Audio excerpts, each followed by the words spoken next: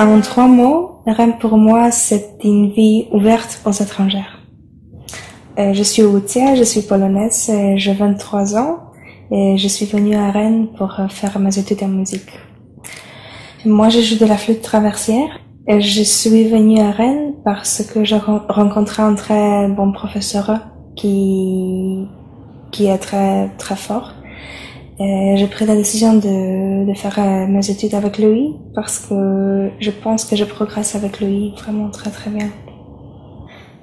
Moi, je travaille comme euh, une babysitter ici à Rennes j'ai trouvé une annonce et c'était assez facile parce que les gens, ils cherchent vraiment euh, les gens qui, qui s'occupent de fond. Je pense que Rennes est vraiment euh, une vie euh, très très ouverte pour les étudiants étrangères.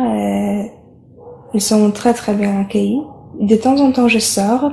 Euh, je fais des sorties pour euh, écouter les autres musiciens, par exemple.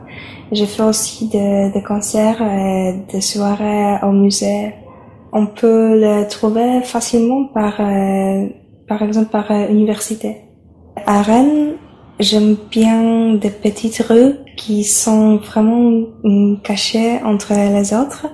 Moi, une fois, je me suis promenée et j'ai découvert des rues que je pas connues avant, que je n'avais pas connues avant.